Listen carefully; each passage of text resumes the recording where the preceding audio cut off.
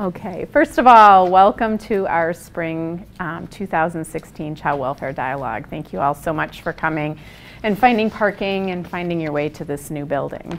Um, so we are very excited today to have Jill Duerr as our speaker.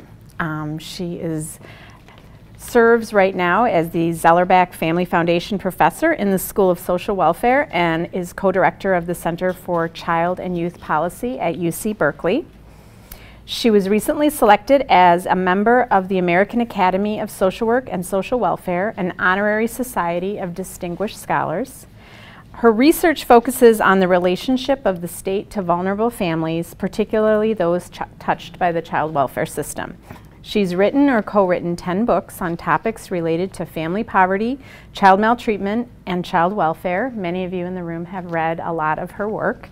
Um, her interests target the intersection between poverty, early childhood development, parenting, and the service systems designed to address these issues. Her research approach typically relies on the voices of service uh, system consumers to identify the impacts of social problems and social service solutions for family life. Um, and I'd just like to give a big welcome to Dr. Berrick. Thanks, Ellen, and thanks for coming, everybody. What a terrific group we have. This is wonderful. And thanks for coming out on this chilly day. Um, I really am enjoying being in Madison. I've never been to Madison before, so this is really a nice trip for me. You all know that Madison is the Berkeley of Wisconsin, or uh, Berkeley of the rest of the country. So I hope that you prove that true to me, which means that you are innovative and creative and somewhat disruptive, and all those great things that we love in our Berkeley students, um, in, in addition to your great intelligence. So really glad to be here and to share some time with you. Glad there's still snow on the ground. I know the rest of you are like, what is she talking about? Glad that there's snow on the ground. We don't get snow. So we don't ever get snow. So this is really fun for me. It's just like being in a park or something. It's just so playful. Anyway, I'm loving it. So so so live it up. Enjoy enjoy all that all the, that great snow turns into water. Love that water. They serve you water at like breakfast this morning. We had breakfast. We had water. That's really special. we don't have any in California. All right. So I am thrilled to be talking with you today. Um, uh, Ellen and I talked about a couple of different things that we could have a conversation about, um, but we thought we would land on this topic of international comparisons, okay? So we're going to spend a little bit of time talking about some work that I've been doing lately with some colleagues, um, uh, comparing the United States system to other countries. And so I'm hoping that we can engage in a dialogue about that. Um, I want to first acknowledge my collaborators on this project. I'm working with Marit Skivenes at the University of Bergen in Norway. Um, I'm working with Tarja Pösö at the University of Tampere, Finland. Jonathan Dickens at University of East Anglia, England. And I mentioned Neil Gilbert, who is at University of California, Berkeley, because Neil put together a gathering about five years ago of 11 professors from 11 different Western industrialized countries to come together and talk about what our child welfare systems were like so that we could learn from one another.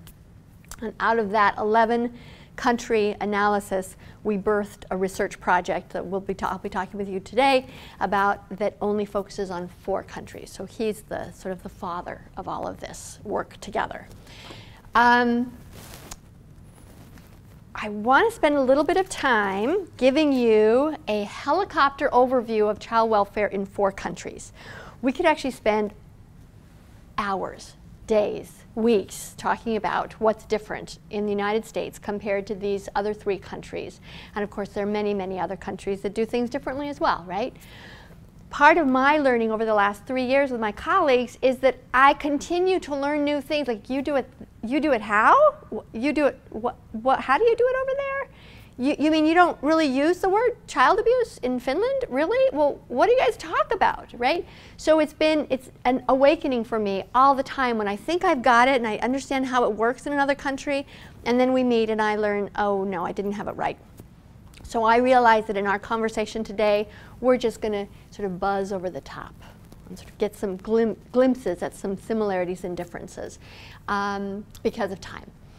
And then what we'll really talk about is the point in child welfare in their system of providing support and services and prevention services to families into the system, into the place where sometimes all of us in all of our countries do have to separate children from their parents. And we do it under involuntary circumstances, okay? So that's the point at which we're really going to spend a little bit of time talking today. And then we're going to talk in that framework of when we have to make a separation, how do kids come into play? Like, what is the focus of our efforts when it comes to kids? And do kids have any say in this experience of being separated from their parents, okay? Because that's quite different in the different countries. Talk about how that influences our practice. And then the main goal today is, as we talk about this, is to think about what do we do in the United States and could it be different, right? As we think about the way they do things differently in other countries, we don't have to stick with what we have, folks. Just because we've been doing it this way for a long time and our roots are deep, it doesn't have to be this way. And I have to say that in the uh, long time that I've been in this field, child welfare has changed a lot. And it is a lot better than it used to be, which is really inspiring because it means that we are on the right trajectory and it can get better and better. So maybe there's some things we talk about today that will inspire you to say, oh, maybe we could be a little bit more like them in some particular ways. And then we just have to think creatively together about, well, how do we get there, right? Because all of you are going out in the field to help work with families, to help change families, to help families themselves be inspired to change. So you're change agents. That's what you do for a living. You change. So change systems. Why not? Why not be engaged in changing the whole ball game, not just individual families one at a time, right? Okay, so, oh, it's my helicopter. Okay, so here we go. Let's look at a couple of different countries. All right. Um, I began my talk by saying the grass is always greener, right? The reason I say that is because I don't know how familiar you are with the Nordic welfare systems, but they're kind of different. And usually my Berkeley students say to me, wow, that looks like a great place to live. So before I tell you anything about the Nordic systems, and again, I'm focused mostly on Norway and Finland, but Sweden and Denmark are a lot alike. Can you tell me what do you know about these places in terms of just their whole welfare state? Do you know anything about them? Well, I'm going to have to ask you to be involved today. Some of you know something about these places. I know it's true. Universal health care, Universal health care. absolutely true. They got universal health care. Anything else? Paid childcare. They have paid universal child care for children under the age of six. All families, every single one of them, every single one of them, free every single day. Mm-hmm, paid. Yep. Uh, paid parental leave. Paid parental leave. So you do have a child, you can exit the labor market, you can continue to get your pay, and then you can re-enter the labor market in that same job that was held for you. And not only the the, the, the mother can do this, but the father can do it too. And there are incentives to encourage fathers to take parental leave outside of the labor market, right? Anything else? Okay, so that's great. You can already see they have a lot of things that are different there. They have um, what's called a tight safety net, okay? So in other words, their welfare system as a social democratic state is very tight. They provide a lot of services to help support families who are being sort of shuttled about by the market, right? So a lot of unemployment insurance, a lot of assistance for families, for adults when they have to move out of the labor market, right? Because they lost their job. So a lot of financial supports. Child allowances, everybody gets a child allowance, whether you're poor or rich. If you have a baby, we give you money because we know that it costs money to raise kids. So all of these countries have a rich child allowance system, okay? Um, parental leave, health care, uh, universal child care, and a whole range of services when a baby is born. Everybody gets something. I love Finland's baby boxes, okay? In Finland, everybody gets a baby box. This is the cutest thing in the whole wide world, all right? you have a baby in Finland, and on your doorstep arrives this cardboard box. Everybody gets one. And it doesn't matter if you're the richest per person in Finland or you're the poorest person in Finland. You get the box. And you open up the box, and the box turns into a crib. And all babies in Finland sleep in their cardboard baby box that the government sent them because that's what you do in Finland. You don't go out and you buy a fancy mahogany crib. You put your baby in the baby box. And you look inside the baby box and what do you have in there? Oh, let's see. You have clothes, you have bibs, you have bottles, you have books, you have videos, you have pacifiers, you have an array, an assortment of things that every new parent needs the day they bring their baby home. Rich or poor, everybody gets it. And it's a cultural phenomenon that everybody uses it. The purpose of the baby box is in part to create an even start for everybody and to say to everybody in Finland, everybody starts at the same place. We may end up in different places, but we all start in the same place. We all start in a cardboard box, okay?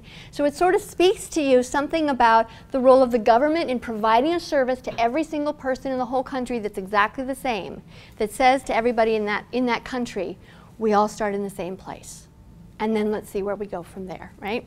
So Finland has very sort of, uh, in addition to that, they have home health nurses, they have visiting nurses, they have a, an array of services to families when babies are born, okay? Look at those beautiful children, aren't they so cute? So, if they have a pretty tight safety net for everybody in the country in general, then what does it look like in terms of their child, child welfare system? Okay? So first of all, they call their child welfare system a family support system. It's not a child welfare system, it's a family support service, uh, family support system. And they provide families services based upon family need, okay?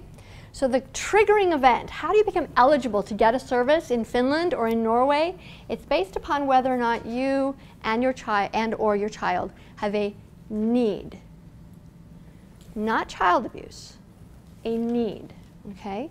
So that could be a developmental need, that could be a mental health need, that could be an educational need, it could be a social need, it could be a physical need, it could be a well-being need. So when kids' well-being is compromised in some way, that's the triggering event that child welfare gets involved, okay? Now, to give you a sense of what their service system might look like for a family who presents as sort of similar to a family that we might be working with. Take um, a single mother and her child. Uh, let's say the mother is drug involved in such a way that it is um, interrupting her capacity to parent her children, her child safely. And let's say that um, that family is now in the service system of the, fam of the family support system in Finland or Norway, right? What would happen? Well, typically, um, in the morning, somebody's going to come knocking on the door early, 6.30 or 7 in the morning, early. A social worker is going to come in, and that social worker is going to help the mom do that morning thing. Feeding, clothing, diapering, maybe changing, washing, da da da da, getting that baby ready for the day or that child. And then that social worker is modeling for the mom. This is what it looks like to be attentive, to be caring, to be responsive to the interactions of you and your child. That social worker is then going to say goodbye to mom, take baby, and drive baby or child to the local daycare, deposit child, where child will be taken care of for the next 10 hours by some alternative caregiver in a child care center, center along with a bunch of other kids. Social worker is going to return to the home and pick up mom and say, okay, we're going to treatment now, let's go. I've arranged it, we're gonna go together and I'm gonna get you there and you're gonna now go to drug treatment for the rest of the day where you're gonna engage in what you need to engage in so that you can be a full-time mom. And at the end of the day, that social worker is gonna bring her back home, bring baby back home and spend the evening with them at home doing the evening activities, cooking, cleaning, getting child ready for bed, modeling, modeling, modeling what it is we're looking for in healthy parenting for that, for that child. That child's probably going to get a therapist, there'll be a therapist involved, there's probably going to be sort of a developmental therapist involved, there'll be a lot of social workers, educational specialists involved. They're going to have weekly team meetings with all the professionals to figure out what else can we do for this family? What other services can we give to this family? I can't convey to you enough how different, the, especially Finland is from us when they talk about these weekly meetings where they try to figure out is there another service that this family could benefit from? Is there another thing we can give them that they could benefit from? And they just keep layering the services with the family. Unlike us, they're going to be very unlikely to remove that child to foster care. They're going to keep providing services for one, two, three, four, five, six, seven years. And the typical age of entry into foster care in Finland, Norway, and Sweden, and Denmark, is between seven and nine. That's the typical age of entry. Remember, our typical age of entry is our babies. Our babies are who come into foster care in the United States in very large numbers, okay, and young children. No, not so in the Nordic countries because they wait, because they're layering services on and trying to figure out is this enough, is this enough, is this enough. So the age of entry is very, very old compared to ours because finally at some point somebody says, it's just not working and it's not getting better and we can't serve this family anymore. And so we're going to recommend a separation. And so a very, very, very different service context than what we have. Um, Questions? Okay, interrupt me if you have questions. All right, so now we turn to the United States, and let me just go back to Finland and Norway. Finland and Norway are really, really similar in many, many ways. There's some distinctions, but for today's talk, think of them as the same place. Now, the United States, um, I don't have to tell you, has a rather thinner safety net than what you might find in the Nordic countries, right? We don't give child allowances to people. We give them a little tiny um, taste of our TANF benefits for a minute before we take it away from them. Our aid is conditional. We'll give you aid as long as you behave in ways that we want you to. Um, you know that it's not really one system, it's really 50 systems because it's very much state oriented and so states have a lot of control, a lot of power in the United States to design their uh, welfare system. Our unemployment insurance is, is um, much thinner than you might see in a Nordic country. We don't have universal child care, we don't have paid parental leave. We kind of have health insurance now for everybody. It's a little bit of a different model. It's much better than it used to be, thank goodness. Um, we have some uh, services for families when babies are first born, but it really depends on geography. It just depends on where you live, right? Everything in the United States is location, location, location. So it's highly decentralized in the United States. Our system is highly decentralized. When you think about our US child welfare system, and aren't they the cutest things in the whole wide world? Oh my God, that's who we serve, right? They're just the most adorable people ever. Um, we don't refer to our system as a family support system. As you know, we call it a child welfare system. And in many states, we call it a child protection system. And I think that language is really important to think about. How we name what we do drives what we do, right? So we are, in many cases, a child protection system. We have a very high threshold of need compared to the Nordic countries that have a very low threshold of need. Families and children can present with any variety of sort of small needs and get a service. Here it takes a lot to get inside our door, right? And unlike the Nordic systems that focus on well-being, compromised well-being, and um, family need, our orientation is all around child maltreatment, child abuse, child neglect maltreatment is our entry point for eligibility, right? So a very, very different system. And then you're living and working in the system yourselves, all of you, so you know what services families get when we activate the system with that hotline maltreatment report. You know what that variety of services are. Again, it depends on geography. Some of our cities, some of our counties, some of our states offer more to families. Some offer less. One of our tools in our toolbox is removal to out-of-home care. Some have differential response. We have some in-home services, but we don't have the same service array that you heard in the Nordic countries. It's sort of different, right? Okay. So, another way to think about the differences between the Nordic countries and the US child welfare systems is to use this metaphor of a house, right? So, a house, let's think of the house as the service system, child welfare service system. In the Nordic countries, the house has a really big door, meaning there's room for a lot of people to come into the house to get services, right? And they can just open the door any way they want. They can come and knock on the door and say, Pick me, I need a service, help me, please.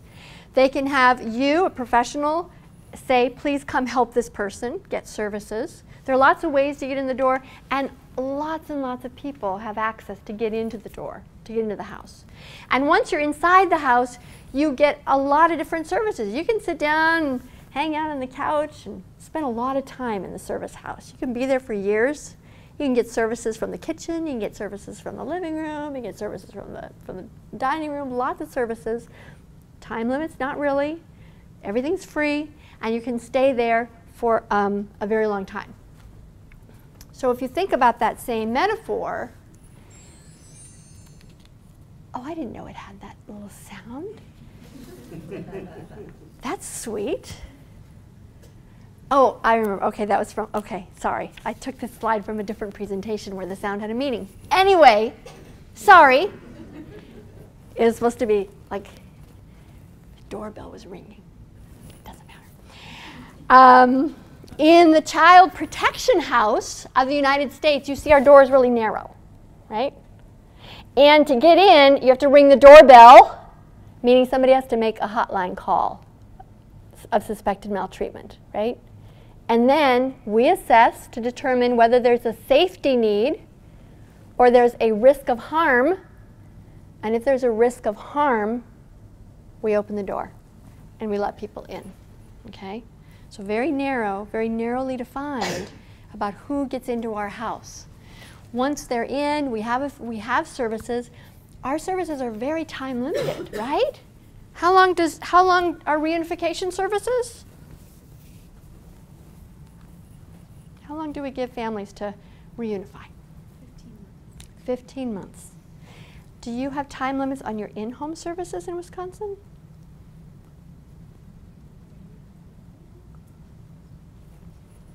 Ours are six months in California. Six months. So maybe yours are better than that. Maybe yours are a year. They're not seven. They're time limited. They're always time limited in everybody's state, okay? So we have in home services that are limited to six months we have out of home services that are limited to 15 months, perhaps in Wisconsin. If you have, in California, if you have a child age three or younger and your child is um, brought into the foster care system, you have six months, six month limit. And then we move towards termination of parental rights.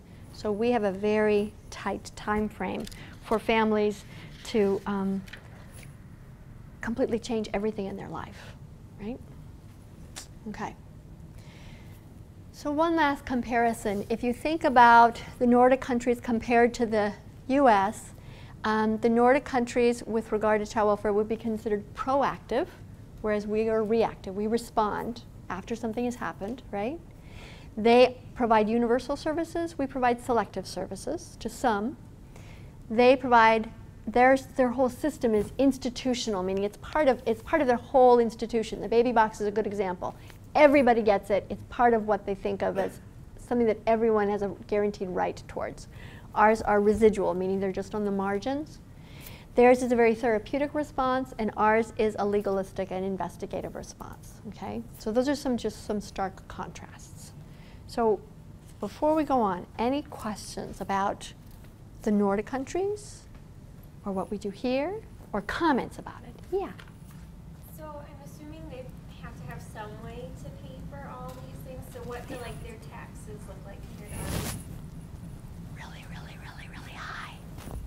Their tax system is extreme. Their tax base is very, very high, very high compared to ours. Pardon? What's their minimum wage? I don't know what their minimum wage is. I don't know what their minimum wage is, but they have. Um, it's sort of a different. I've I've sort of really learned over the last few years that there's a very different cultural philosophy of the role of the state to the citizen in the Nordic countries compared to here. here, you know, we have um, a lot of ambivalence. I'm, I'm going to make some generalizations, of course. There's differences across the country.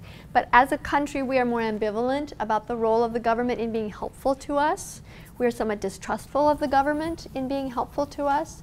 And in the Nordic countries, there's a notion that the government helps, right? They help us get my daycare and they help my kids go to college and they help my kids and they helped me, you know, get my paternity leave and they helped me during those hard times when I lost my job. And so it's a very reciprocal relationship. And so because the state touches everybody's life in a Nordic country, there's also a sense that, well, but they're helping everybody, so I'm happy to give them some of my money because they give me goods in return. So it's a very reciprocal relationship. Whereas here, we kind of begrudgingly pay those taxes because we don't always know what we're getting, and we know that somebody else is getting something, and not everybody gets anything. And so it's a very different relationship we have in the United States. So yes, their tax base is very high. Yeah, and that that and there we have a starting point for why it's kind of hard to import some of what they do here, because what they do costs a lot. Yeah. Other questions? Yeah. Is this like, um, are there roots in this sort of framework of doing things? Did they always do it this way, or did they find this works best? Oh, that's a great question. The roots, this all came after World War II, okay?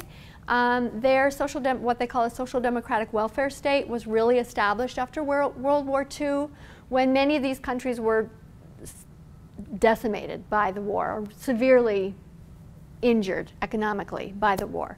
And um, the, the difference in um, the, the, the discrepancy between the wealthy and the poor in these countries after the war was pretty flat, actually, because of, it, uh, because of its economic disruption to the whole system. Um, in fact, the baby box, what it, I keep going back to it because I love it so much. The baby box was um, created right after the war as, a, as an intentional strategy to create this sense of universalism, to create, uh, to, to, to be responsive to maternal and child health issues, high infant mortality rates at the end of the war because again they were, they were such a poor country.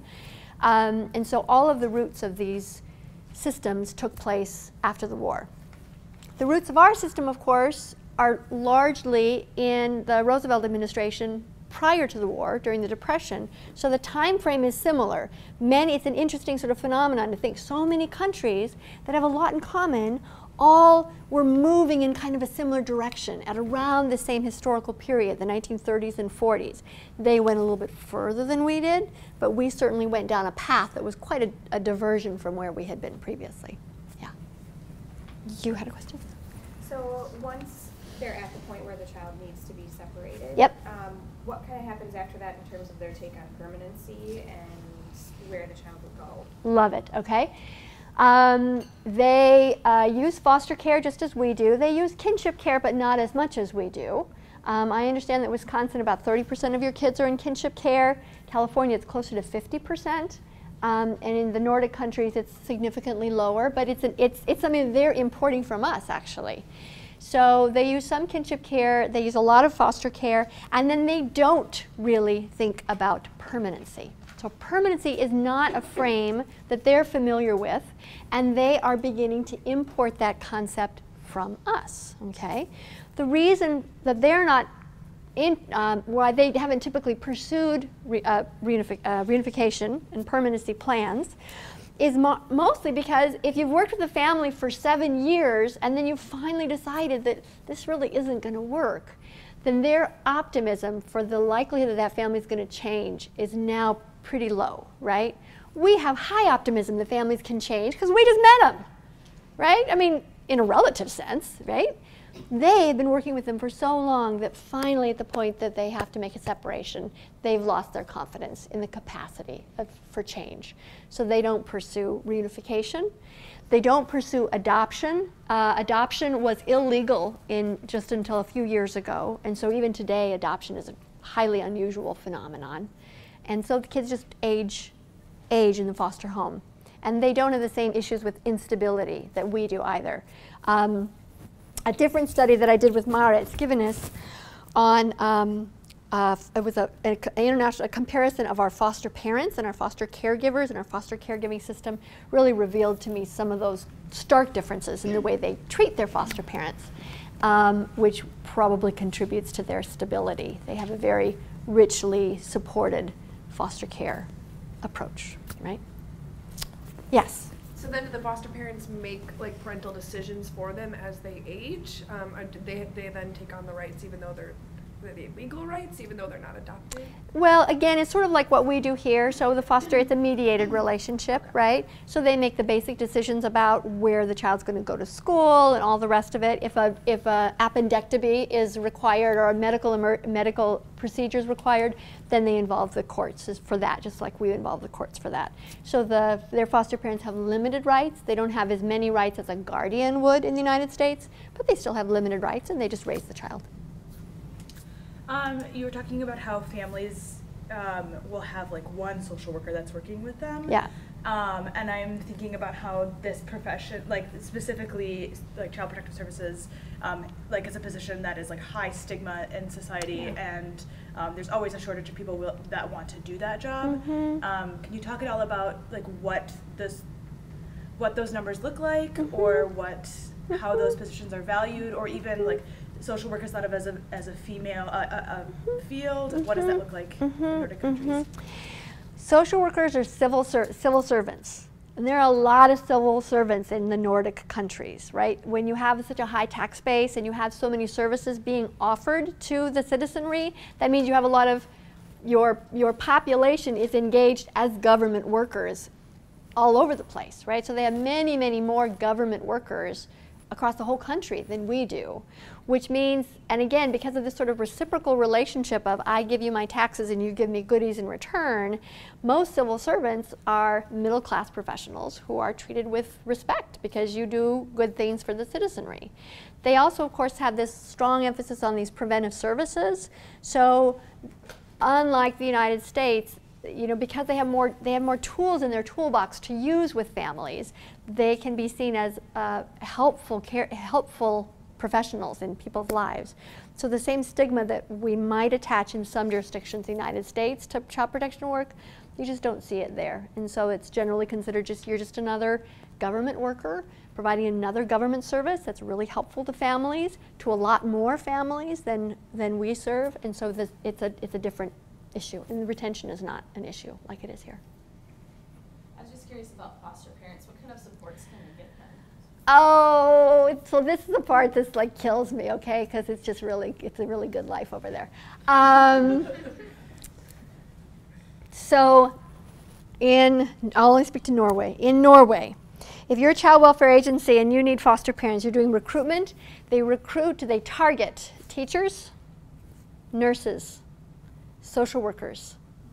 They target people who have already decided to dedicate their life to helping and mostly dedicated their life to helping kids, right? It's too hot, I'm sorry, it's distracting me.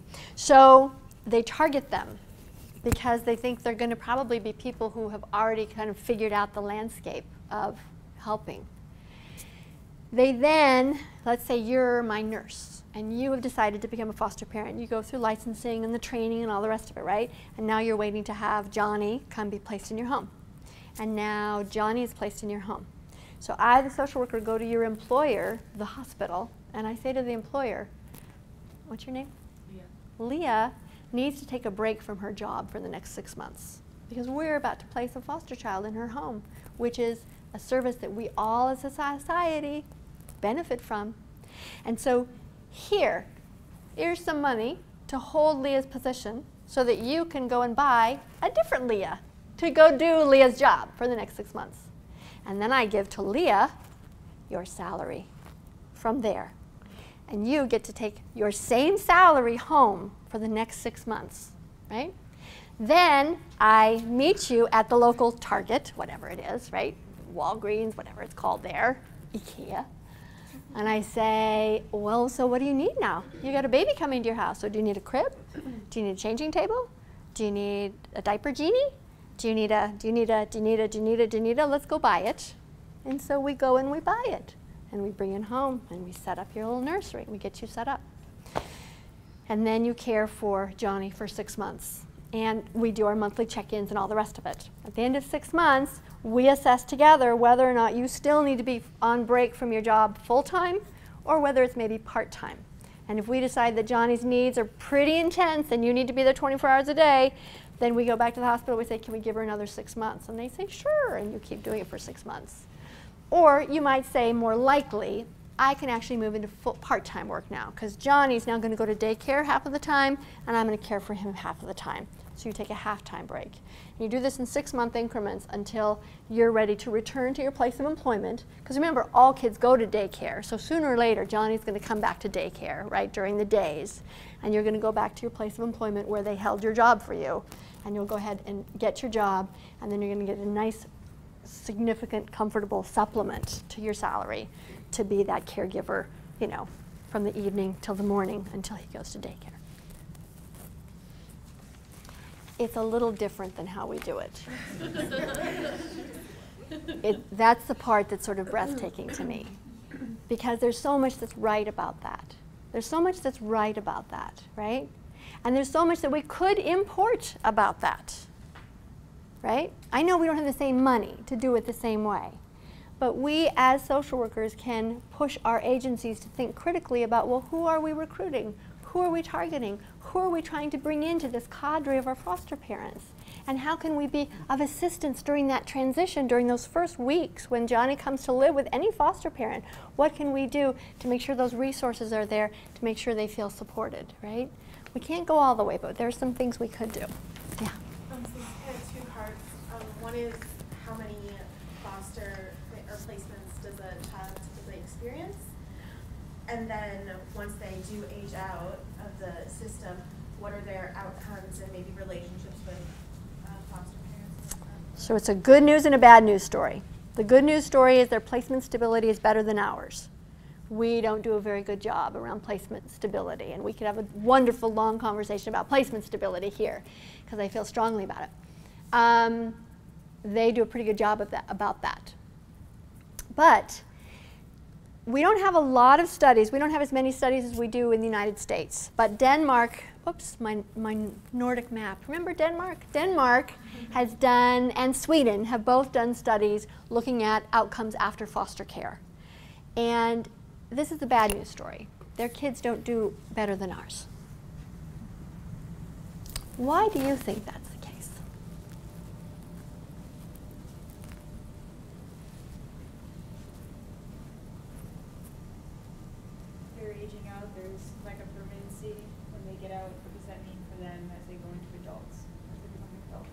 So you mean sort of like the, the confusion of young adulthood? Is that what you're referring to? Yeah, and, and, and how do they know, where do they go for the holidays? What, what's their safety net, their own personal safety net after they age out? Can they go back to the foster home? Can mm -hmm. they go mm-hmm. back to their birth mom? Mm-hmm. Mm-hmm. What does that look like? Okay, so it might be that they just sort of fall, they fall like ours fall, often without a safety net of any kind, the structured safety net.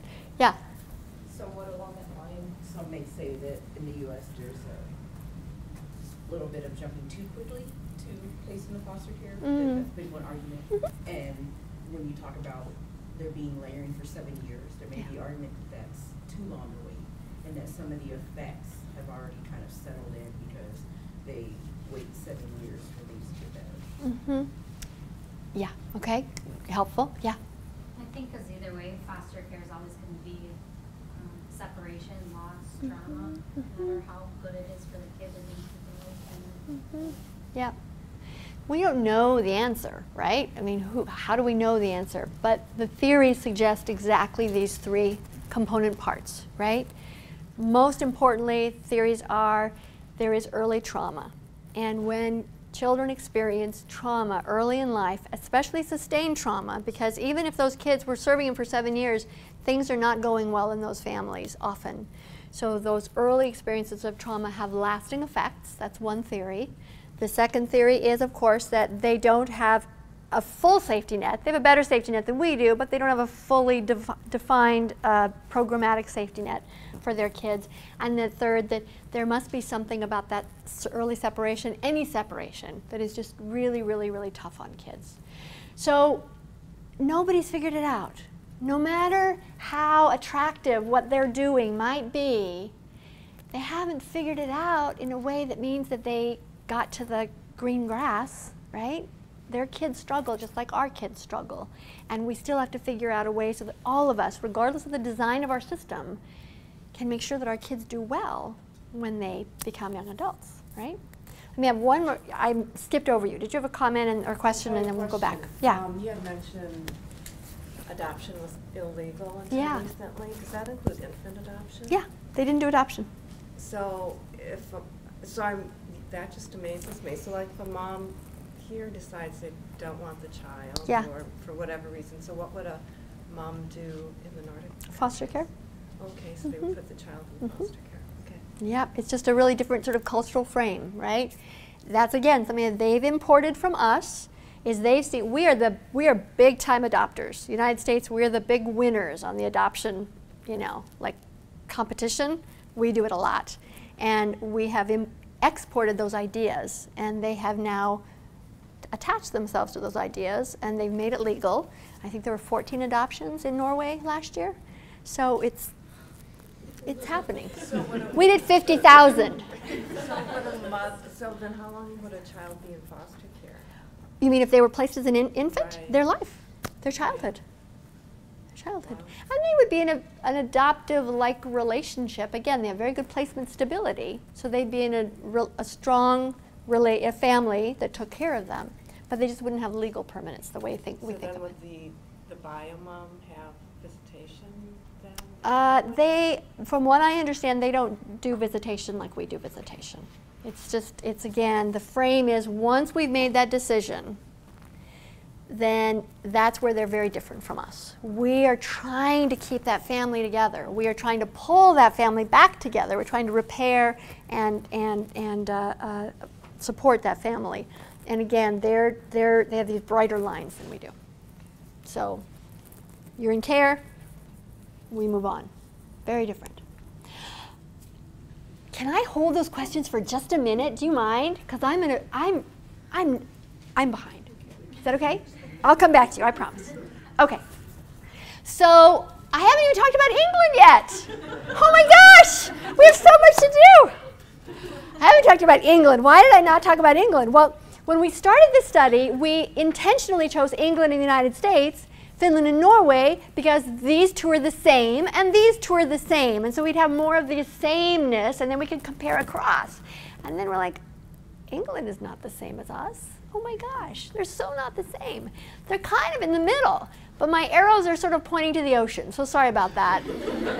I hope you know where England is, okay? I hope because it's over, it's down. Anyway, they're in the middle, and they truly are in the middle.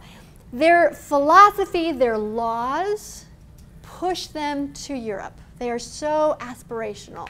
They so much want to be a family support system. Everything in their writing of their documents suggests they're a family support system, right? However, they have a crazy, crazy media in England. And the media grab these horror stories that we all hope never happen in our careers, right, of tragedies, and then crucify social workers in England, making them immediately a reactive system, and they pull back to be a child protection system like the United States. So their policy and their philosophy is aspirational to Europe, but their practice is reactive just like the United States. So they're kind of in the middle, and that makes this data collection kind of really messy, but let's not worry about that right now. Okay. I would be the first one to say that our House of Child Protection in the United States could use a little bit of a rehab, right? in, my view, it could, it could be a little bit different. I would say that it's not particularly responsive to families with basic needs. Um, I would say the fact that we only make our services available to families where there's harm or substantial risk of harm is, a, is too narrow. Um, I would say that our state interventions are awfully intrusive and time limited. Um, the risk and safety paradigm that we live in makes services quite stigmatized instead of universal.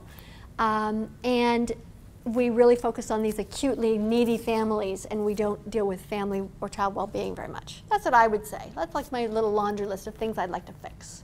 So let me just take two minutes and see if there's anything else you want to fix. How do you criticize this system How would you like it to be different? Yeah. Um, I feel at times that um, we're just kind of a, another branch of law enforcement in our really tight, um, like, like cohesion to the court system and law enforcement. Right. Is something that is very stigmatizing and um, detrimental for families. Okay, so you came in to help, and to the field to help, and yet you're really closely aligned with law enforcement, which has this punitive aspect to it. Okay, that's a that's a really important critique.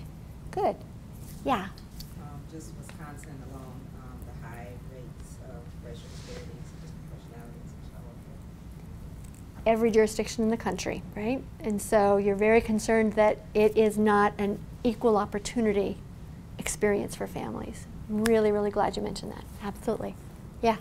There's not a notion of other social responsibility. It's kind of like something's wrong, the social workers will fix it. Or, you know, there's something wrong with the kid, the school will fix it. We do service provision in silos. In silos. We are very siloed, okay? So we'd like to see more cooperation among service providers. Okay, good. Anything else? Okay, the point of this is to say we should be critical. Not critical as in I tear it down and I run away from it, but we should be critical analysts of these systems that we are walking in to be parts of because if we're not, then we forget that opportunity to be the change agents, to make them better, right? To, to really respond to and to make sure that our coworkers are aware of these racial disproportionalities and figure out what are they doing, what am I doing that might be contributing to it. To figure out what our relationship is with law enforcement and to say, is there a way that we can distance ourselves so that we can be seen as helpers rather than enforcers? we can be the people who go into these agencies and help everyone think differently about what we do to make them better. And so that's part of what I want you to keep doing is thinking, what is it I might want to import? And how would I do that, okay? So, um, here's a really simple version, and we sort of talked about this already. Uh, families become eligible for services somehow. We try to provide some in-home services to them. If that doesn't work, sometimes we use voluntary out-of-home care. If that doesn't work, we use involuntary out-of-home care. Then we move kids to a permanency or an exit, and then kids become young adults. That's like the simple version of child welfare, right? We've already talked about eligibility. We've already said that we base it upon risk and safety, and they base it upon compromised child well-being or family need, right? We have not talked much about in-home services, so for just a minute, I'll just mention this. 7% of all the kids in Finland are receiving an in-home service at any given time. 7% of all children. Let's come over to this side, the United States. About 1% of children are reported for maltreatment every year, and two-thirds of them get an in-home service. So that means that less than 1% of our US kids get in-home services from our child welfare system, and fully 7% in Finland get in-home services. So that just gives you some sense of the scope of who's involved, right? And again, these are seven years long. Our in-home services in the United States, what we're capturing there is our ER service, or ER, sorry, in California we call them ER, our early intervention services, which typically last 30 days. And we refer families to services. We say, go, here's a parent ed class. There's my service. Here's a drug treatment program. Here's my service. Here's an anger management class. There's my service. And we call that an in-home service. That's a referral. So, so you can see how we're kind of different from Finland, right, in terms of just the proportion. And then of all the kids served in Norway, and they can't give me an estimate of what the number is, 70% of them are served with in-home services. So that's sort of similar to us. When you look at voluntary out-of-home care, there's really a big difference here, right? In Finland, most of their out-of-home care is voluntary. And I look at them and I'm like, oh yeah, right, we call it voluntary here too, but it's really coerced. How many of you have ever done a voluntary service with a family, but you felt like it was actually sort of had a layer of coercion? Yeah. If you don't do this really nice thing that I'm giving you an op opportunity to do, I'm going to have to remove your child. Right? Why do we call them voluntary? They're actually voluntary. They're actually voluntary there in Finland, okay? Um, England and Norway are more similar. Between 25 and 30 percent of all their care cases are um, voluntary. And then we don't have any data for the United States of America, so I just took data from California where we do have data, and it's about 10% of all of our out-of-home care cases are what we call voluntary, and these are almost all kinship care cases where we do a six-month voluntary placement agreement as a strategy to move them into guardianship. So in essence, we don't really do voluntary out-of-home care much in, in uh, our state. Um, and so instead, we're going to talk about we're going to focus on involuntary care. Okay. Um, do you think, given now what you know about the Nordic systems, that the prevalence of kids being in out of home care in the Nordic countries is probably about the same as the prevalence of our out of home care rate in the United States? Or is it lower? Or is it higher? What's your best guess? Like, how many kids do they actually separate? The government separates. Higher, lower, about the same. Any guesses? Given what you know now. Lower? How many say lower? Most of you, yeah. It's higher. It's higher. Okay? Our rate of out of home placement, our prevalence rate, is somewhere between five and six kids per thousand in the United States. And it's over eight per thousand in Norway and almost nine per thousand in Finland, okay? So again, back to that reciprocal relationship between the citizen and the state, the state is quite comfortable keeping kids separated from their parents to a much larger degree than we are in the United States. So when we are concerned about oh, how many kids we're taking into out of home care, and I get concerned about that. In an international perspective, we're lower than other states that have a much richer prevention enterprise than we do, right? So, we're going to talk a little bit about involuntary care. Okay. And I'm going to talk for a minute about kids.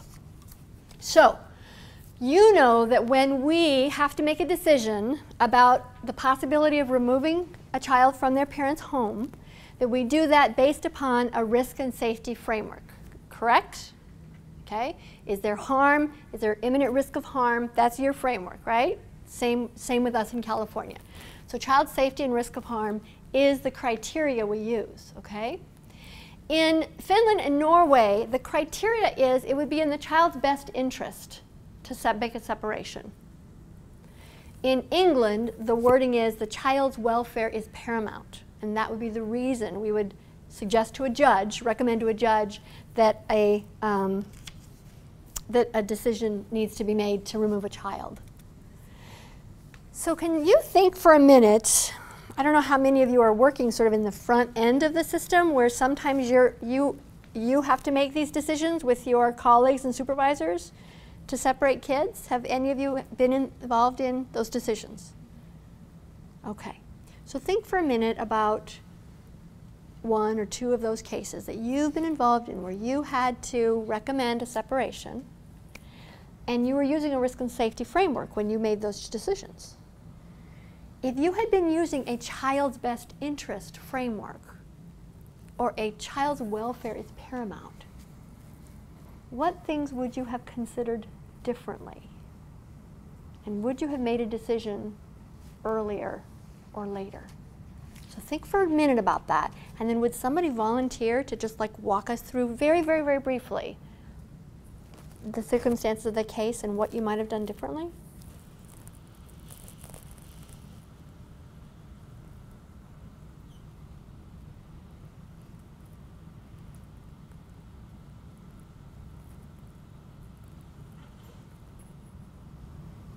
Yeah. Just one thing I want to say, I haven't been directly in the decision making, but I've worked with families where there was separation. And Okay. When the slivers went up, I just, I still feel like this is just semantics. Oh, okay. Tell me more. I, I just feel like when I think about the best interest, I think about safety and risk of harm. Oh, And I think okay. about them being taken care of, neglected, abused, whatever. And so I just, I, I guess I understand that in these other countries, they Uh-huh. don't like to use the term child protection or- Yeah. and everything, but Yeah. I, I just feel like it's semantics and Oh, okay. it's all about child's best interest because their safety and Uh-huh. risk of something being Uh-huh. done to them is their best interest. Oh, what a fabulous comment. Um, okay, and it might also be because remember, our clientele are already only narrowly defined as families who have a child abuse or- or neglect phenomenon going on, right?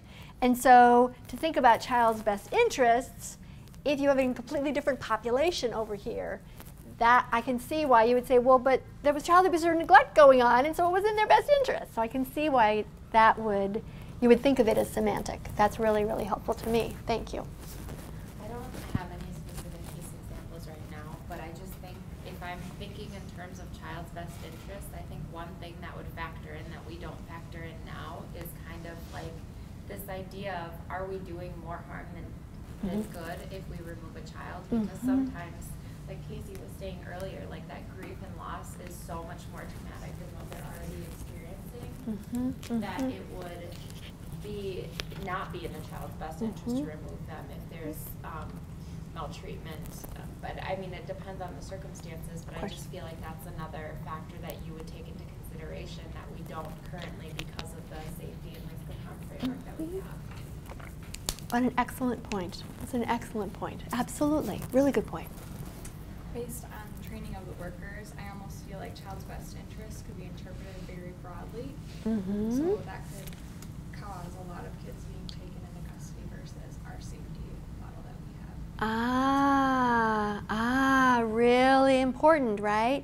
Safety and risk is hard to measure anyway, but at least we can kind of get on the same page or hope we're on the same page to ma- and have some more uh, uh, certainty that what you called risk and safety was the same as what you called risk and safety, which is what you called risk and safety. And when you move into child well-being, we might not agree, right? Okay, which creates the opportunities for greater inequities.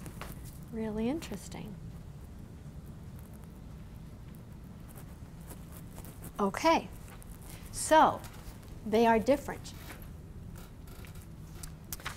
So the benefit, tell me what, you just told me what, there was a, there was a hazard, right? You said there was a hazard because there might be inequities. Are there benefits though to this framework? Are there advantages? Yeah. Well, I can see it being obviously less punitive, so that's definitely an advantage. Okay, so it's not necessarily about blame and assigning blame. Okay, good, yeah. I think it also might make more sense to bio parents um, with, you know, they have, they're in the mindset of this is in the best interest of my child, not I did something wrong to put them in oh. risk, in, in risk of harm. Oh, interesting. So it does shift the focus to the child, doesn't it? And away from the parent. So our current paradigm focuses on the parent and what you did. And let me look at that allegation of what you did. And this shifts on the child, and it's all in their well well-being interests. Very interesting. Yeah. I know that within our framework, it's very difficult to prove emotional neglect or abuse or maltreatment. Yeah. Whereas if you're looking more at the child's best interest, said, it's more of a possibility. Uh huh. Good. Okay, gives you bigger bigger platform. Yeah. Yeah. Okay. All right. Good. So I see you're seeing the advantages and the disadvantages besides inequities potentially. Any other disadvantages?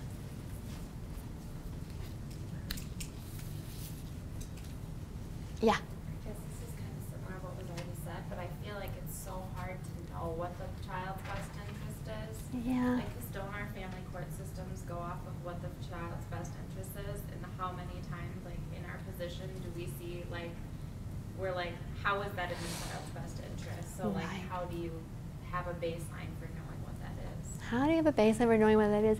And is it culturally bound, right? We are a diverse country. So what what might another cultural frame look like about a best interest standard that might be different than my cultural frame? So coming up with culturally normative values, a lot easier in Norway where they're all blonde.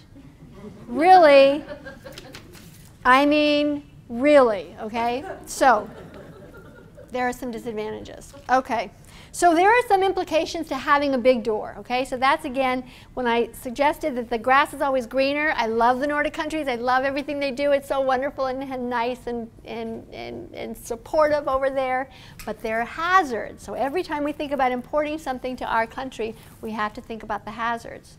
And the hazard in this case is they have a very big door and they have these well-being standards which are not measurable or hard to measure, which might be normative, which might create inequities, which might create dis, uh, uh, disadvantages for certain groups. And so we have to be really cautious. And remember, they separate kids from parents at a much higher rate than we do.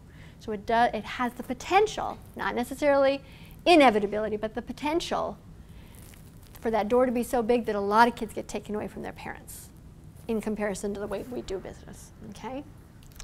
So I want to just very, very briefly talk with you about a study that my colleagues and I did and walk you through a little bit of this, um, where we were looking at the front end of child welfare decision making.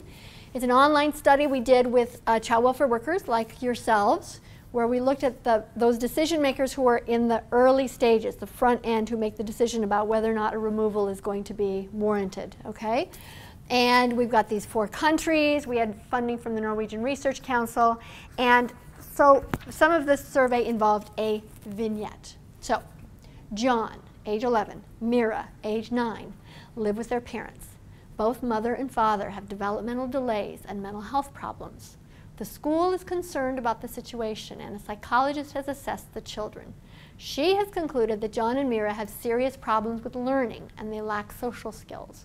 They're clearly lagging behind their peers and this is confirmed by their test scores.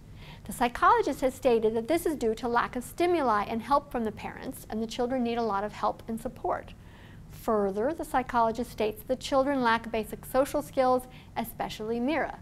The parents are socially withdrawn and cannot teach or show their children how to behave towards friends and other adults. The psychologist concludes that Mira and John are at significant risk of becoming as socially withdrawn as their parents. think about where you are placed right now in your agencies. And think about whether or not in your agency, the social workers surrounding you, or you yourself, would look at this story and think that this was a case of neglect. Okay? And think about whether or not your agency would provide services for this family and whether or not this would be cause for removal. Okay? So, do you have a sense? Would you, raise your hand if you think your agency would probably consider this a case of child neglect. Raise your hand if you, and none of you did, for those in the front. Uh, raise your hand if you think your agency would provide services, child welfare services to this family. A couple of sort of tentative hands, not really big hands, like maybe we would. We'd assess the situation. It's a maybe. Okay. And tell me if your agency would probably consider removal. No. Okay. So it's different. Okay? So part of, part of this is sort of looking at a different way at the big door phenomenon, right?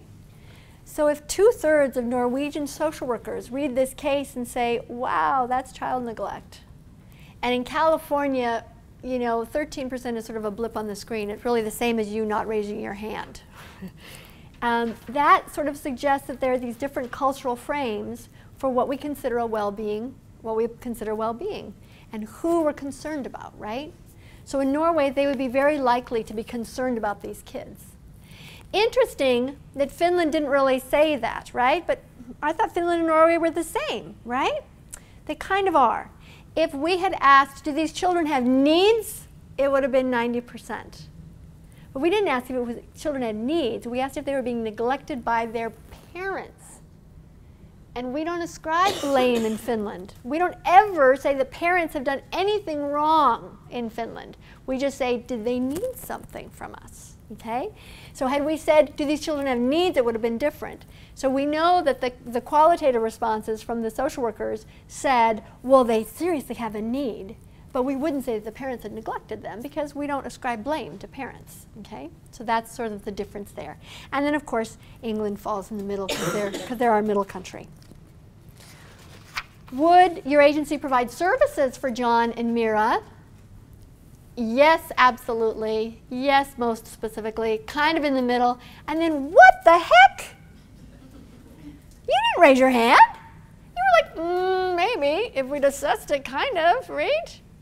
So again, the qualitative comments here were, oh, we would refer them out. We'd refer them to the school to be the silo of services, or we'd refer them to the developmental disabilities program, which is the silo of services, but we wouldn't serve them, right? So that 77, 77%, first I thought, oh, I guess I don't understand child welfare in my country. What? And then I looked at the comments, like, oh, okay, good, good. We wouldn't do it, but somebody else would. Would our agency consider removal? No, in California, just like you said, no. Ouch! That's all I have to say about that, right? That explains it. So when you have these big door phenomenons, lots of families can get services from us because we're concerned about a lot of different things. They would consider a removal when it comes to John and Mira, which the rest of us are like, you don't separate kids from their parents because of that, for heaven's sake, right?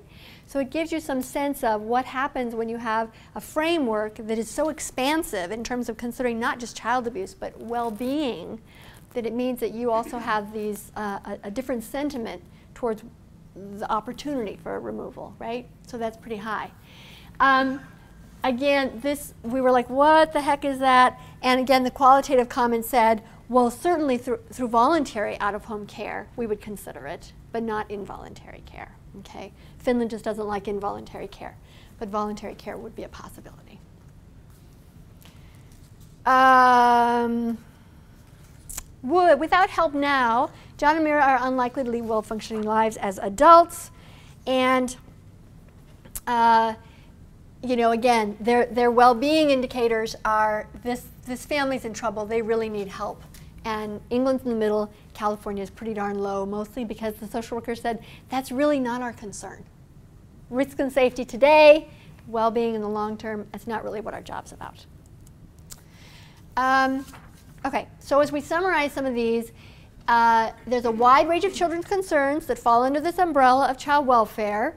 More kids are more likely to access services. There's a potential for intrusive government involvement and children's long-term interests may be just as relevant as short-term concerns. So as we think about tilting our service system to look more like a Nordic country, we just want to be cautious that in doing that, we don't open our doors so wide that we end up providing more intrusive services to families, to many, many more families than we otherwise would, okay? So shifting for just a minute to continue to think about kids and the kids framework, well, where, where do we come up with our risk and safety framework? We come up with it because government, meaning legislators, wrote laws that told us that that's the way it's going to be, right? So let's look at the framework that's used in these other countries when it comes to kids, okay? The United Nations Conventions on the Right of the Child. You all are aware of it? You know that it is a UN document that, is, that enumerates fundamental human rights that children in all countries should have, okay?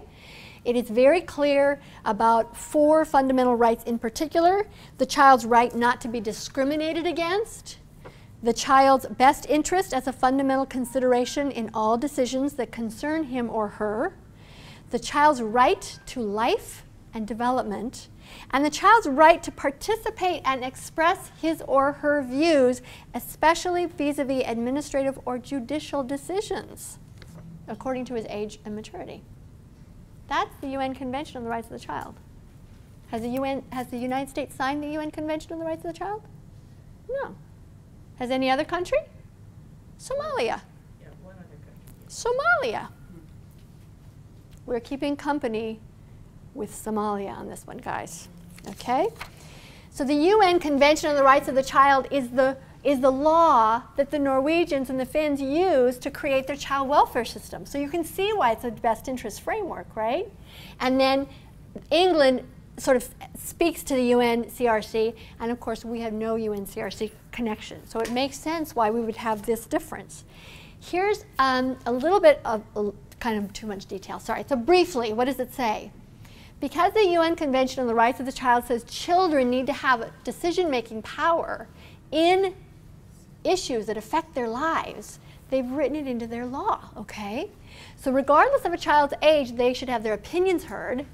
And in Finland, if you're a child age 12 or older, you can disagree with the removal decision. In Norway, if you're age 7 or older, you're given the opportunity to have a voice and to show your opinion. Age 12, you're heard and opinion is given weight. And at age 15, you're a party to the case, meaning you, you, you're similar to this, you can agree or disagree with the decision, okay? In England, we give you a lawyer, and in the United States, we give you a lawyer, okay? So kids don't have voice themselves, but we give you a lawyer to voice your best interest concerns, okay? What do you think? What do you think about allowing 12 year olds to direct the course of their case.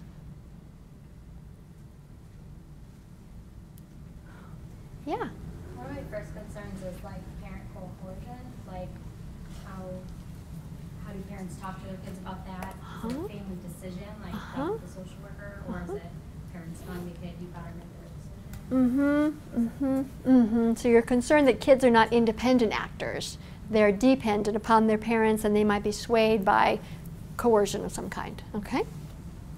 And going off of that, even if they aren't forced, there's still a lot of pressure to put on the child, um, especially mm. a child who, like, I mean, we know in our system that that um, kids, even if after they're placed at home, even if they really enjoy being with their foster parents and are living really good lives, they still feel this connection to their bio parents, so it kind of puts them in a So I hear you're feeling protective towards kids. You want to sort of protect them from the difficulty of this of this weight, this responsibility. Okay. Mm-hmm. I just think that there's such a variation in maturity levels. Yes. Because I, I know a family I work with where uh, one of the siblings was 12 and was extremely mature and handled herself very well in court. Mm-hmm. Um, and probably better than some 30 year olds. But, but there are also a lot of 12 year olds where that is way too overwhelming and they're very easily persuaded. So it's just, mm-hmm. it's so hard to tell because it's such a mm-hmm. case by case thing. Mm-hmm, so I'm hearing that you're sensitive to the whole age and maturity rubric of, well, if they're old enough and they're mature enough, you wouldn't want to be held to an age standard necessarily. Okay. Yeah? I'm curious how this is actually operationalized, though, because I think it's, it's one thing to say that children have the right to talk in court, and it's another thing to actually let that statement direct the course of action that's taken? What's mm. your perception of how that plays out? We'll see in just a minute. You're my plant. Other comments before we get to the data about whether you think that it's a good thing? Is legal representation enough in California? And let's separate out, there's also two dimensions, right? There's your interaction with kids when you are trying to make this decision about, am I going to recommend to the court that removal is, is desired? And then there's going to court, okay? They're two different things. So, so maybe, so you were sort of saying, you know, court might be a kind of a scary place. Well, what about not the court part? What about you? Your practice with families. Should you be engaging kids and asking them whether or not a removal is in their best interests?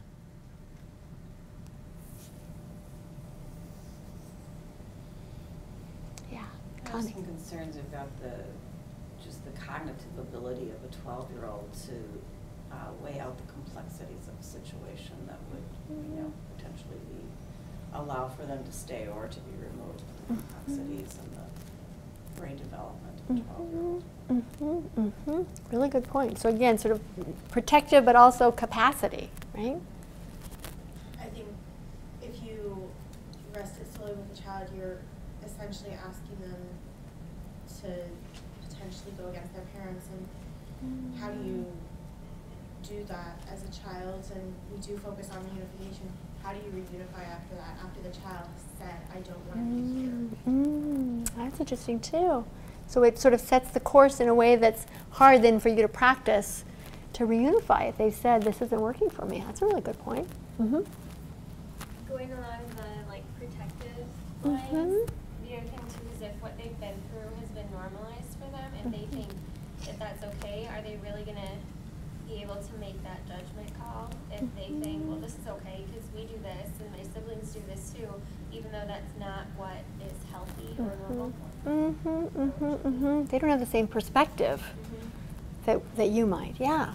Kind of speaking of siblings, like what happens with sibling moves in these situations? Does an older sibling get to decide, I'm staying home, but the younger ones have to be removed? Do they get separated more often because of that? Oh, that'd be interesting to see what happens to sibling groups and whether or not we then make different decisions for siblings. Oh, that's interesting. Yeah.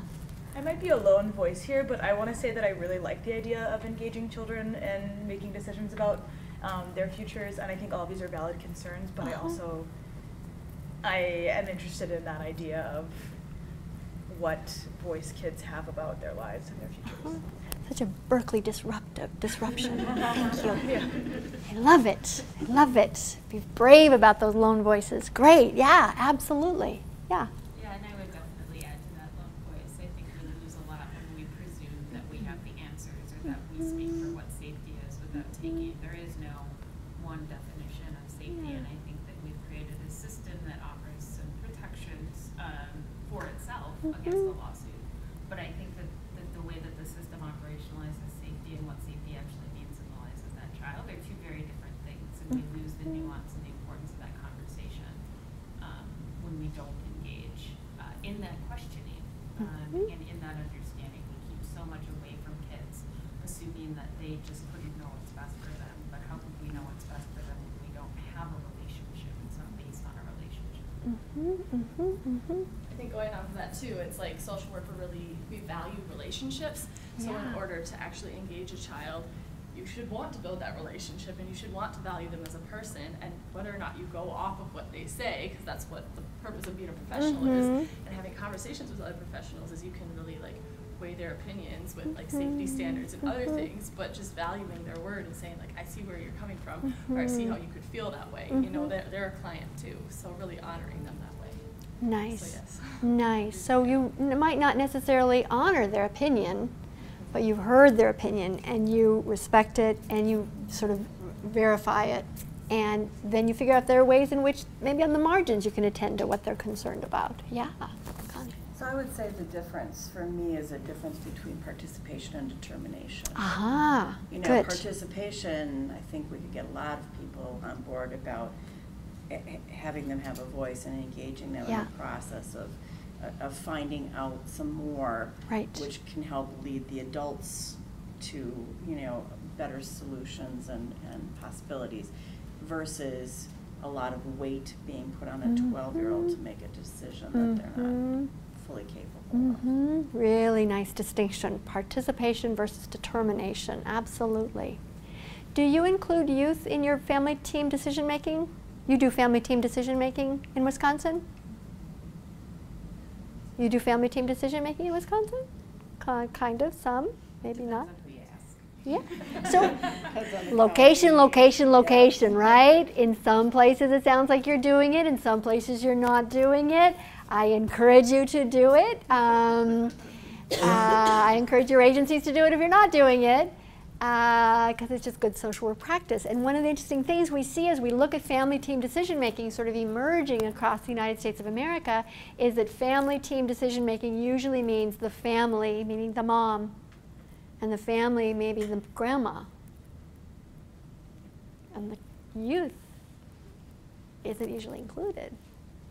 But they're part of the family too, right? And again, there are all sorts of reasons and nuanced reasons why we want to be cautious about those environments and protect kids, especially in the group where they would be, it would be hard for them to participate, right? But it's interesting that youth usually don't show up, okay? So these are complicated questions. I get it, they're complicated. And of course we want to be protective, but it is really interesting to think about ways in which kids and youth can be engaged in our practice to be deter maybe not determinants, but participants in the process. I have a photo here just before I go on of the Children's Court in Los Angeles County.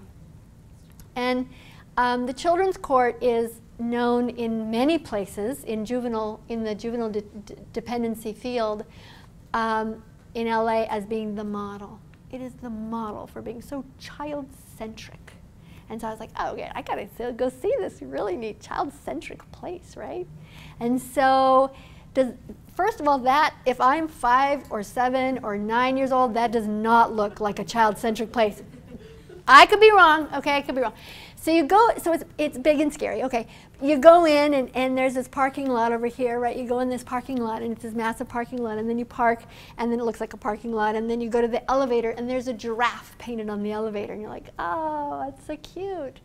And then that's the end of the child-centric everything. That's it, right? And it is a huge, and you've got the security guards, and you got your, you know, the metal detectors, and you've got these halls and halls and halls, and you've got these waiting rooms crowded with adults and more adults and lawyers who are shouting, and it just depends on your perspective, right? And so, should a 12-year-old be given voice? Should a 15-year-old be given voice? in the decision making? Well, in some ways, from one perspective, we might want to be protective. From their perspective, they want to be heard. So, it all depends on your perspective. So let's consider this case. You're working with a boy named Alex, who is five years old, kind of a tiny one, whose family has received in-home services over a period of time. The case includes parental substance abuse, previous domestic violence, and general neglect. The circumstances of the case have deteriorated recently to such an extent that you're concerned that the boy's risk of harm is high. You're considering removing the child from his home and have informed the parents. The parents are opposing Alex's removal. Okay, so again, we want to get a sense of these different countries. In your country, would you, in talking with the child, solicit the child's feelings, his feelings about what's going on? And in Finland and Norway, yeah, they solicit the child's feelings. They're not talking about a determination about what's going to happen, but at least they solicit the child's feelings. And that really didn't show up in California or in England and I didn't like that finding. I didn't like that finding. Now, it makes sense to me because our law doesn't tell us that we really need to. But if we're going to be good social workers, it makes you wonder if whether we should, right? Is that an important thing? It probably is an important thing. Would you give information to the child and in Finland, of course, they would give information to the child. They would make a child fully informed about the whole process, okay? You didn't see it anywhere else. Even in Norway, where it's in the law, you have to. But it didn't really come up in California either. And part of that was because, well, I'll tell you why in a minute, part of the why. Would you gather information from the child? This is what we are good at. Because we had to find out if the allegation was true. Did it happen? Were you abused? Were you neglected? Did it happen? And would you include the child as a participant in decision making? Not a determinant, but a participant. And only the English said that they would do that. So even in Finland and Norway, where the law says they must, they didn't, right? And, and why? Uh, per, what explains the difference? We think there are three reasons why, besides the law, right? The first is how much time they had to engage with kids, okay? So these are in California, our front end workers who are making a decision and have to get to court in 48 hours, right? So their response was, even if I wanted to, I don't, I don't have time to talk to kids. There's no time. I got 48 hours to get my paperwork filed in court, right? Um, you got three months to write a report in Finland. You had three months to sort of deliberate and determine and decide and discuss before you have to go to court in Finland, right? So there's probably more time to engage with kids in Finland than there is in California. England's a lot like California. Norway's more like Finland. You've got at least a month and a half to sort of do this deliberative process. Wow, could you imagine having weeks to figure this stuff out instead of potentially hours? It's an interesting idea, right? But again, we're only interested in risk and safety, so it kind of doesn't take that long to figure out risk and safety. But if you're trying to figure out if a kid's well-being is compromised, that takes a long time. It's a long time, okay? Also refers to the silos of practice. So in our comments from California, the workers routinely said, well, those are important things. It's just that I wouldn't do it. Lawyers do that. Lawyers talk to kids. I don't talk to kids. I talk to parents. Lawyers talk to kids. Now, whether you agree with that or not, I don't. That's what explains, theoretically, these differences. And then also it has to do with what the purpose of your engagement is. We talk to kids to get information from them because we're trying to ascribe blame for what happened, right? So that's why we talk to kids. Whereas if your well-being is what you're after, then to try to determine well-being, you engage kids in a different way, right? So it depends on your purpose of engagement. There's also, again, I should just say, this the protective comments that many of you made at first came out very clearly in these surveys. Everybody's concerned about protecting kids' psychological well-being for really good reason in these really high intensity situations. So, is the grass always greener? Did I hear somebody say yes? I thought it was going to be you too, Rosemary. Yeah, Jill, it's a lot greener over there.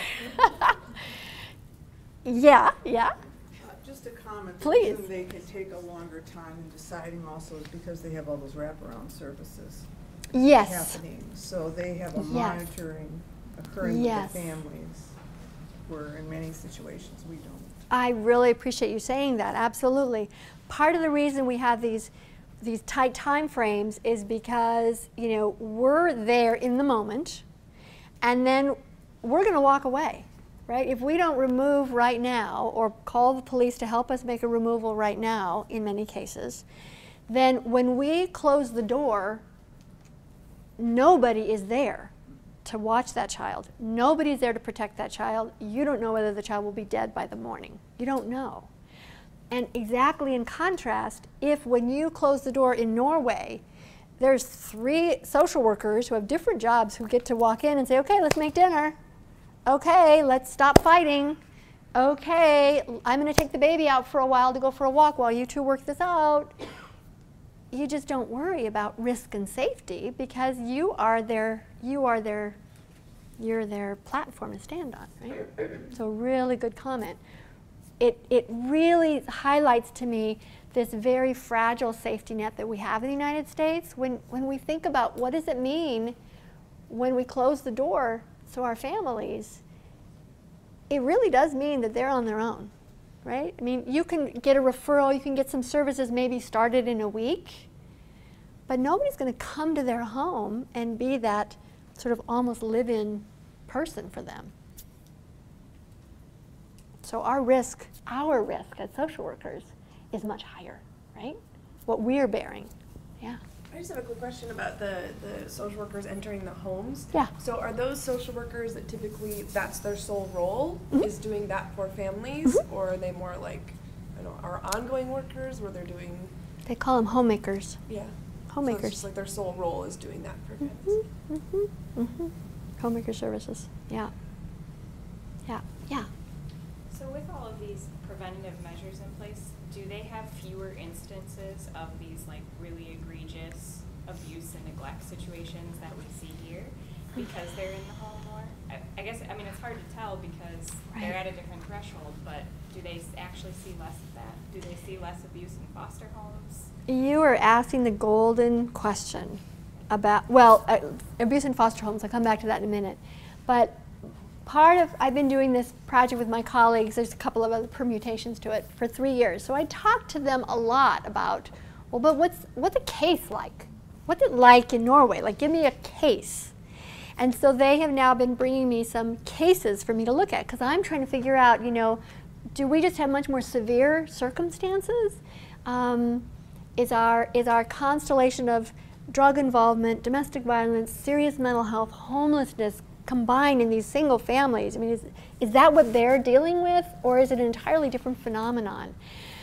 And I can't get my finger on that, right? Because they don't really have studies where they took a whole random sample of a bunch of cases and then categorized them for me. That's what I'd like them to do. Um, so instead, they bring cases to me and they say, well, here's a case, and there'll be a case, and it looks like drug involvement and, you know, mental health issues and, and not homelessness um, and domestic violence. And like, okay, well, that looks like a case I know. I've seen those cases. But then they'll bring me a case in our last meeting. Then they'll bring me a case of um, a mom who had a two-year-old, and the two-year-old kept coming to daycare with a soggy diaper, and they and who cares? I was like, what? what? And it was a case in a child welfare agency. So is that 90% of the cases or is that 1% of the cases? And are these 90% of the cases or are they 1% of the cases? They don't know. They don't really have data tracking systems. And they certainly don't use risk assessment tools like we use in California that give us these sort of severity indi indices.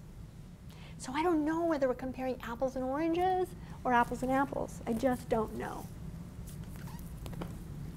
Have you actually been over, I don't know if you said that, but have you Yeah. been over there and Yeah. talked and like shadowed any of the? They speak Norwegian. and they speak Finnish. I mean, people who are in the universities all speak English. I mean, we are ridiculous. I don't speak. I don't speak Norwegian, right? They all speak English, but the families and the workers who work in the homes speak Norwegian. So, yeah, I've sat in. I've sat in a child welfare office. Yeah, they're really nice places, right? They don't have. I don't know if you have them in Wisconsin. They don't have. Um, um, um, um, security guards and bulletproof windows like ours do. But, um, and they're nice places. But I don't know what the heck they were anybody was saying. I don't know. So these families have needs, and the social worker's coming in there because of the need. Yeah. And so forth. How can they ever figure out then, because it sometimes takes five to seven years before a child's even removed, that Right. they're providing all these services for the family. Parents can actually meet the needs without giving them that opportunity. Oh, oh, that's a good question. So they'll try to titrate, titrate it, right? So they'll bring a, a rich array of services and then see if they can pull back on the, the saturation point to see if the family then can pick up pick up the remainder. And then if they can't, then they just put it back back in again. Yeah. So they're very set. You know, it's not like they're. Um, they do talk to me a lot about resource constraints. I like yeah okay. They do talk a lot about resource constraints. So they have managers just like you have managers who are saying, really, can we be done now, or really, do we have to do all that all that much? So they get a lot of pressure to try to reduce services. There's no question about it. But their baseline is really, really different from ours. And so they have their, their reasons for withdrawing services, even partially, are partly therapeutic and partly economic, just like ours are. I'm just curious if you looked at their, um, like referrals at all, if it's like triple the amount of ours, or if it's, because I feel like it would be very Mm. different from family to family, knowing what the best, like, welfare of the child is, so then they're calling in these reports, and then are like all of them screened in, so to say, or Mhm. How do they determine that compared to how we do? That's a great question. So yes, they do. They have because our funnel, if you think of it as a funnel, right? We have all these kids in America and then mandated reporters send us the names of some people who are of concern and then we do a screen and we narrow that s'more and then we do an investigation or a assessment and we narrow that more and we serve here, right? And so they have not, their funnel is a different funnel because you can self-refer, which a lot of families do. A lot of families self-refer. Excuse me, I need help, right? A lot of self-referral. They have referrals from teachers, they have referrals from medical professionals, just like we do, for compromised well-being. And then they assess almost all of them and they serve a very large proportion of them. Now, all of them don't get this deep end service that I was describing of, you know, the family visitor and all the rest of it. Many of them just need a little tiny service. So it's sort of a graduated service array depending upon your need. But almost all of them get, get some sort of an assessment for their need and then a connection to a service of some kind. So it is a much richer, much broader touch. Mm -hmm. Mm -hmm. So we kind of touched on it a little bit, but what what would they do if they got a report of stepdad is sexually abusing the kid? Like being in their home wouldn't necessarily like what sort of services would they provide when there is an immediate safety issue? That's true. They do. That does happen. That does happen. They'll make a removal decision. Okay. Yeah, yeah. Would but it still be that same sort of thing where made a removal decision, we're not going to work too hard for reunification with mom? I don't know the answer to that. That hasn't come up in our conversations. I don't know the answer to that. So that'll be a good thing for me to find out when I go back in April. Um, but yeah, so that has so no, it has come up. The, what they call emergency emergency removals definitely come up. They say it's a very very small proportion. I've seen numbers. I can't remember. I can't tell you what they are right now. So they it does happen. Doesn't happen very often, and I don't know what they do about reunification in those cases. So that's a really good question. Yeah. What do their caseloads look like? Like how many people would they serve, and like also with the paperwork, I would imagine it would be less because they don't have to do permanency plans and things like that. Mm -hmm. So they have more time to spend with mm -hmm, families. Mm -hmm, mm -hmm. That their their caseload might be a little bit smaller because they're spending so much time. Mm, I don't know. Their caseload is smaller, but their workload is smaller. their uh, their paperwork workload is smaller. Um, part of the reason that this enterprise began, again, so we've been talking a lot about, well, what could we learn from them? boy, have they been learning from us, right? They don't collect much data. They don't document very much um, in terms of their case case activity. Now, if you get to a removal, actually we haven't talked about this. This is so interesting, so interesting. So that report, I showed you the, the time dimensions of writing the report. So the report that the Finns and the Norwegians need to present to court is a really big behemoth of a report, many, many, many, many, many dozens of pages long, that gives all sorts of information about the kids and the, and the family. The court in Norway is composed of a judge, a community member, and a specialist, usually a child psychologist. So it's a three-person deliberative body. And in Finland, it's a judge and a magistrate, a local official of some kind, okay? In Norway, the hearings last from two to three days. And in Finland, they last approximately two weeks. California, they last seven minutes. We did a, we did a study. We did a study in California so we could just like quantify it. We get seven minutes of justice in California. How much do you get in Wisconsin? Is it better than that, I hope?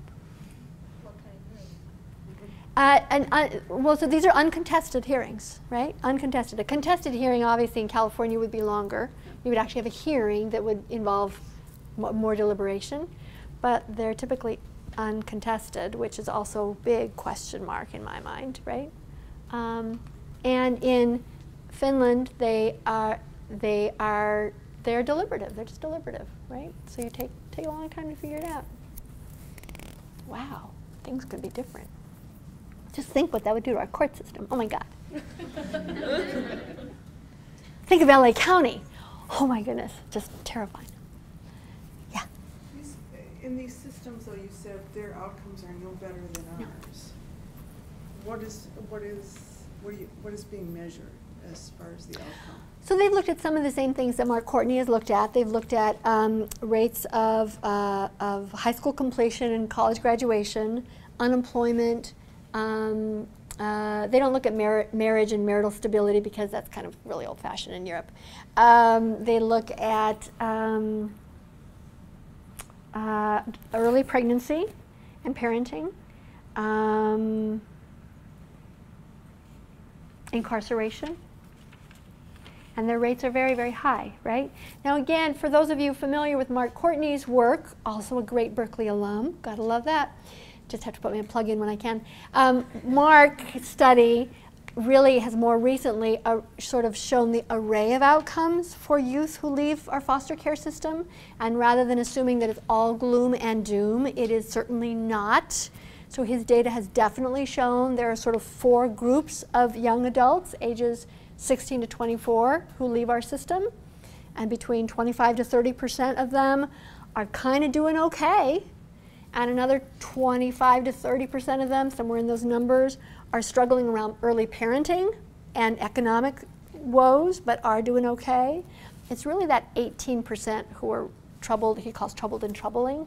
So really 18% are truly struggling. 35%, 30 to 35% are doing okay, and then there's a distribution in the middle. So we have to remember that there's a distribution among our youth, and some do okay, some go to college, University of Wisconsin, some go to graduate school in social work, which I love, and some don't. So similarly, for them, they have these difficult outcomes like we do in the sense that when you turn it upside down and you look at things like the prison system, you do see that it is overpopulated by kids who've come from foster care because it just depends on which perspective you're looking at. Right? Any other questions? Is there anything from our conversation today that makes you think I might do something a little bit differently in my agency tomorrow? And if so, what would that be?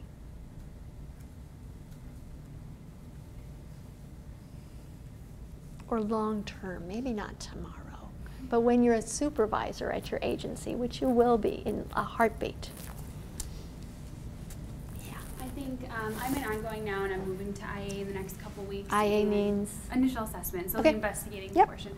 Um, but I liked the part that you talked about where it said risk and safety, and I think that's where my department is kind of centered at right now. Mhm. But then on the other side, the best interest, and so. I was thinking when you were talking, I'm gonna hang up like a big poster and have both of them so that I remember, um, because I think it's kind of important to balance yourself, and I think we need to incorporate both, not just one or the other. It really, really is. Kids are so much more than just being little risk pools, right? They're so much more than that. And so, to the extent that we can think about their well being, we treat them as m- more human, right? And more full, and we can even engage them as agents with us. So, I love that you're going to do that. Yeah. Um, uh, most of us are students, so we're Yes. I thought you were in field placement, maybe. Some are. Some are. not. Okay. um, and so I think that it's great pointers to take away for Mhm. when we are in field placement or agency. Like I Mhm. currently, for work, actually work for Big Brothers Big Sisters. and so Oh. It's different where I'm not a quote unquote social worker working in like CPS, but we provide social supports for Sure. families. And Sure. so it definitely makes me think about when I'm talking to parents about difficulties in school or different Mhm. aspects like that of Mhm. how to really put best interest of the child first when thinking Mhm. about that. Mhm. You know, and not placing blame on the parent for not helping Johnny with his homework, but what can we do to help him find other resources for homework help? Oh, I love it. Oh, I love that. That's wonderful. Good. Um, I, I think that I'm going to take more initiative to have those conversations with the kids and have those conversations with the parents that you just assume other people are talking to them about. Mm. Um, and you know, if I assume that the lawyer is having that conversation, I Mhm. assume that you know their their therapist is having that conversation. But to you know, can't hurt to have that conversation more than once. So. It cannot hurt. Oh my goodness, absolutely. We have to be reminded that these are incredibly complicated systems that these families are walking into. They know almost nothing about these systems that we're living, and we went to school and we learned all the procedures and the, you know, the documents and the policies, and they don't know much of it at all, and they're caught.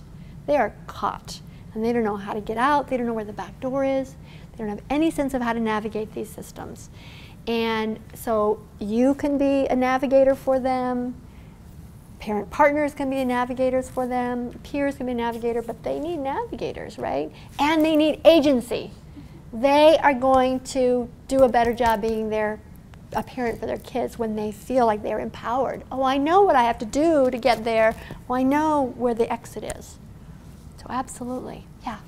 You had made a statement earlier that I felt was really impactful, is that said what we name what we do drives what we do. Mhm. And so I think just the language and what we use, I know there's terminology that we're used to using, but Mhm. maybe trying to change that when we are meeting with families and being Mhm. more positive as, as much as we can be. Absolutely. Absolutely. Just trying. Absolutely. I, I worry a little bit that our orientation towards risk and safety, as, as helpful as it is, and again, I'm not criticizing the, the, the concept, because I think it is helpful. It's measurable. I like that it's measurable. Um, I think, in fact, it's probably the single most important thing we can do to deal with racial disparities in the United States is by having a measurable way to say you get in and you don't get in because it has nothing to do with your race, it has to do with your safety. So I like risk and safety because of that reason especially. But when we only narrow our conversation to risk and safety, we forget kids and we forget kids' well-being and we forget development and we forget all of the other pieces that are part of a life, right? So I would like to find a way to expand, to hold on to that importance, but then expand what we do and what we're about. And that language would be helpful. Yep. Anything else?